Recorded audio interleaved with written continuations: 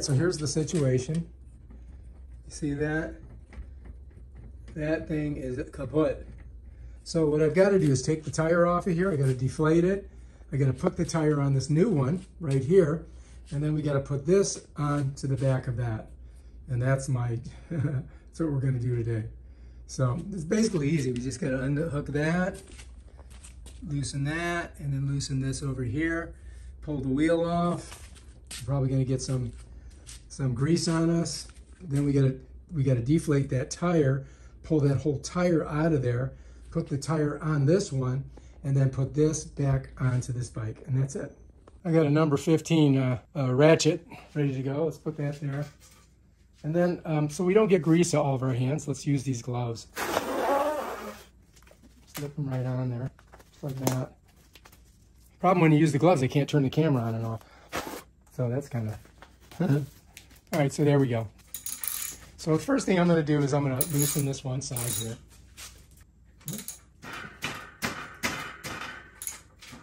Huh. Should go this way to loosen it, right? Lefty loosey? There's always, a, oh, there we go. Jesus, that was, that was stupid. Lefty loosey? So I'm doing the other side. So lefty loosey, so I'm going this way, right? Counterclockwise. I don't have to go that far. So now it's loose. I think it is. Yeah, that's loose. That one's loose too. Now we just gotta loosen those. All right, so I've got to loosen this right here because this is what kind of stabilizes the bike. So we gotta go to the left, just get it loose. There we go. Should come off of there. All right, so anyway, this first one here, I can get off because I can grab it with my finger. And I don't want to lose these because I might need them for the other tire. All right, so let's go ahead and get that out of there. And let's save that. And then this one here, I think we can just leave it on here because we may need it for the other one, okay? Even though it's kind of rusty and yucky. Okay, so now what I've got to do is I got to move the tire forward a little bit, like this, and then take the chain off of it. Just like that. I'll just leave the chain right there. And now we've got the tire off. And I'm going to set the tire right over here just like that. I have some uh, of these little lights that you screw onto your valve and I've got to pull those off first. So we got to let the air out of the tire. So I'm going to go ahead and uh, take the valve off of there and then we can go ahead and get a screwdriver, push it in there and pull the air out. I'm just pushing the screwdriver in there. It's a brand new tire and a brand new uh,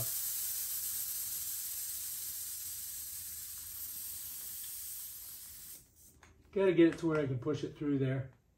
So once you've got all the air out of the tube, you want to get a flathead screwdriver and try to get it in between the rim and the tire so you can pull one side of the tire off the rim. That way we can get to the tube inside.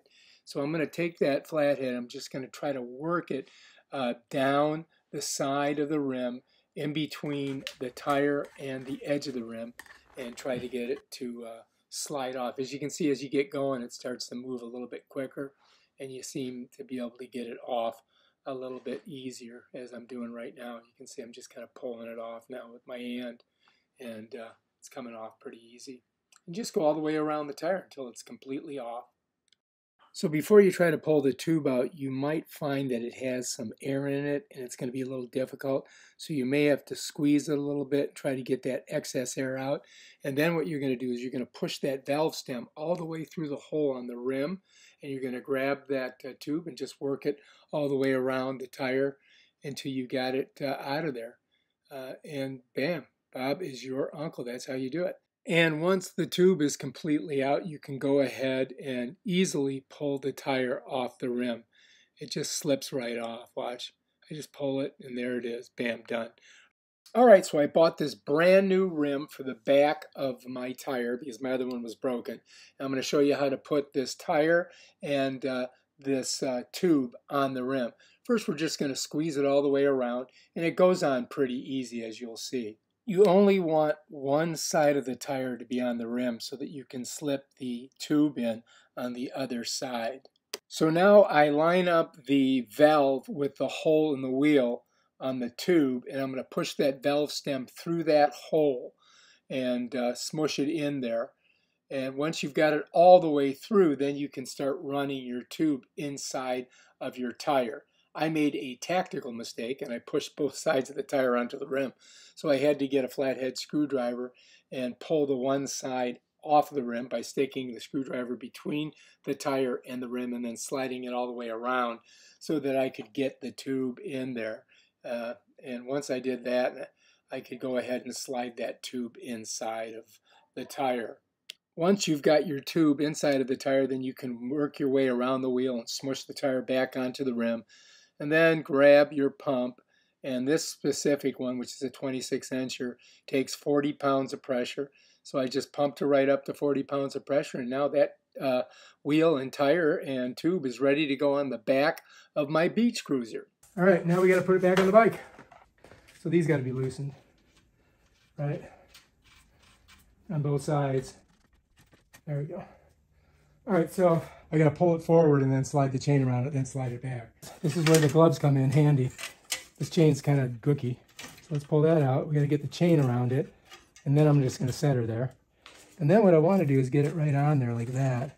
And then we're going to slide it back so we get to a spot, and then we got to balance it inside here so it's even, right?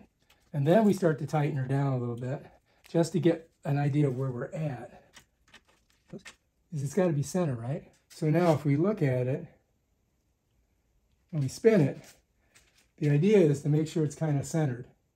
So it looks like I got to come a little bit this way and then tighten that down a little bit more, right like that.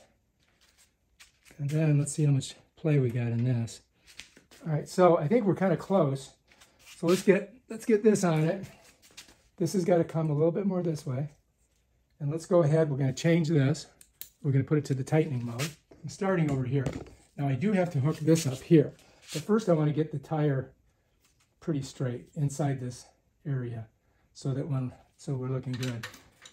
So we're going to go right about there. All right, let's let's hold that there. Let's see if we're looking good.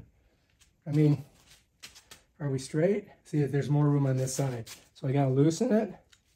I got to come the other way. So I got to come this way a little bit more. I think a little bit more. Got to come up. All right. Let's see if that, how that looks. Still got, I got so much extra room there. It's too close to this one side, so this side's got to come up a little bit. See if that works.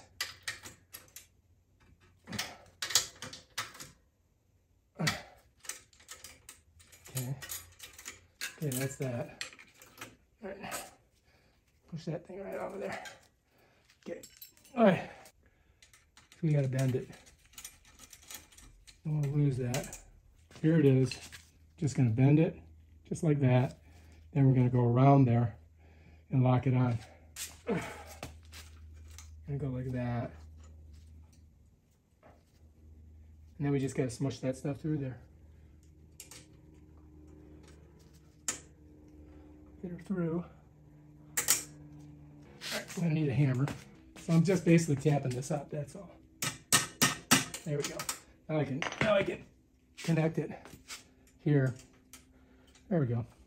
Now where's our Phillips? Get on it. There we go. Now we're doing it. Righty tighty, lefty loosey. That's going to tighten right down on there. And keep that tire where it needs to be. So anyway, folks, I do learn as I go. so, okay, that's, we may have to loosen that out of this one. All right, so now we're on there. Let's see how we're doing. It looks pretty good. All right, now I got to tighten down the other side, right? So let's come back over here to our chain side. And I just got to get her, get it tightened. Righty tighty, lefty loosey now you should be good. we won't know until we take it through a spin, right? Now let's get this side.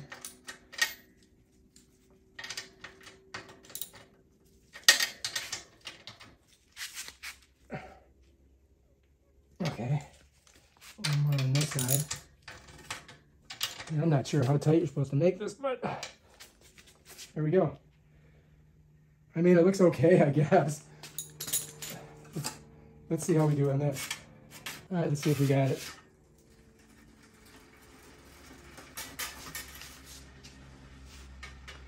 I think that might be good. I don't know if, the, if we got too much play in the, you have to have some play in it, I guess. All right, I guess we could try and take it for a ride. What do you get? What do you think? Let's go ahead and get her gloves off. And uh, we'll see how she runs. We'll see how she, we'll see how she performs. Okay? All right, here we go.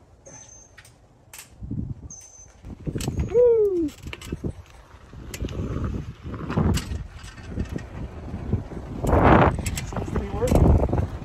What do you think? I think we fixed it. Not bad job. I'm pedaling, it's nice and smooth. I think we fixed it, we're good. That uh, tire cost me, I think 80 bucks, or that wheel cost me 80 bucks on Amazon. And now this looks super clean, I like it. It's like almost like a new bike. so that wasn't too hard, it took about a half hour. All right, if you like this video, subscribe to my channel and check out my other awesome videos where I do stuff like that. Peace out.